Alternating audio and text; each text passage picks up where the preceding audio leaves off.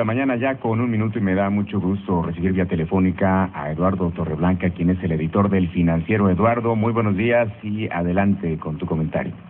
Muchas gracias Alejandro, me gusto en saludarte, buenos días. Pues eh, estamos inmersos en una feria de reformas estructurales en el país y antes de que llegue el puente de Guadalupe Reyes, eh, pues eh, parece ser que existe una compulsión para concluir este primer año de gobierno que encabeza Enrique Peña Nieto con una serie importante de cambios a la estructura constitucional que permitirían resarcir la inactividad legislativa en los pasados 30 años. Y no es que no sean necesarias estas reformas, indudablemente la inexistencia de estos cambios han propiciado perniciosas eh, consecuencias como las que vemos y son lamentables, que representa por ejemplo el hecho de que nuestros hijos tengan un retraso de 65 años en comprensión de lectura, eh, eh, medidos por organismos internacionales. Estos y otros como por ejemplo la no llegada suficiente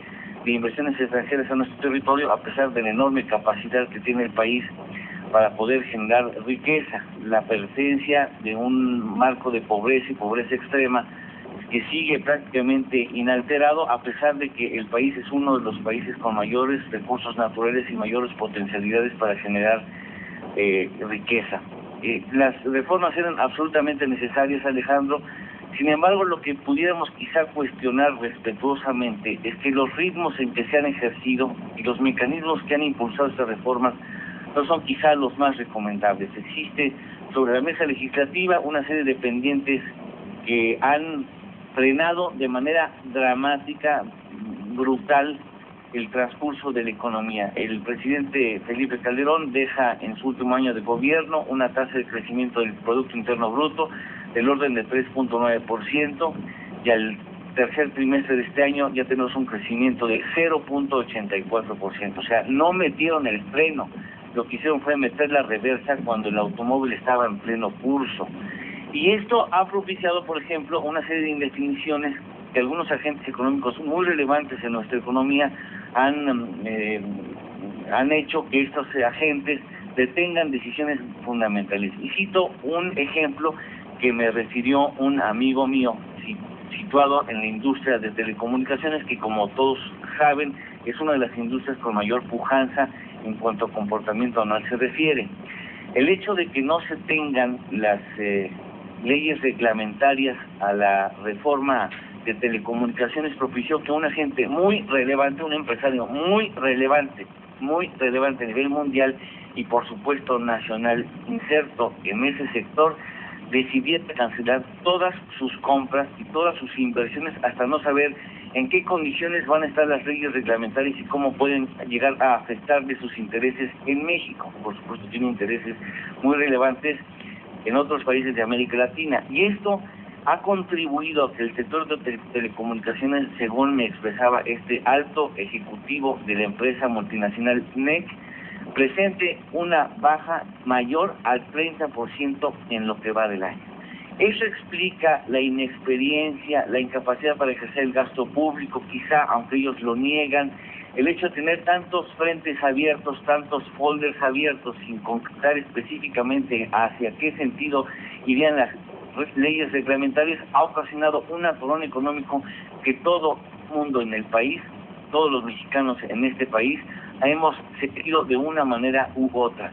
Y creo que no veo la razón por la cual tuvieran que hacerse tantas reformas tan rápido cuando la impresión que tenemos los ciudadanos, Alejandro, es que esto se ha convertido, querámoslo o no, en un hermoso batidillo que tiene poca claridad en el corto plazo. Eh, viene ya la reforma política, se ha hecho a pasos agigantados, a marchas forzadas, y ya tenemos el compromiso antes de que llegue el día 12 de diciembre, fecha muy importante para todos los mexicanos.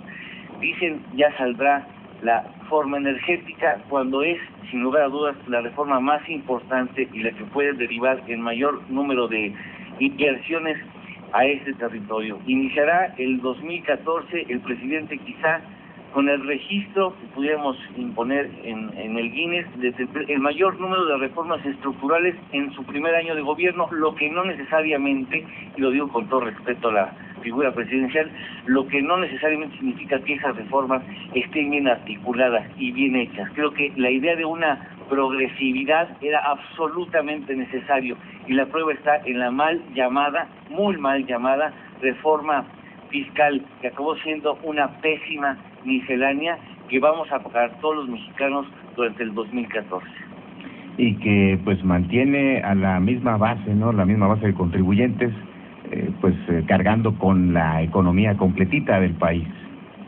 Efectivamente, y que, y que impone a los famosos repecos cargas y responsabilidades que hoy ni siquiera se imaginan, porque tendrán que ir a una oficina de la fiel para darse de alta y hacer una serie de trámites que son engorrosísimos. No hubo el menor el menor movimiento en favor de una simplificación fiscal.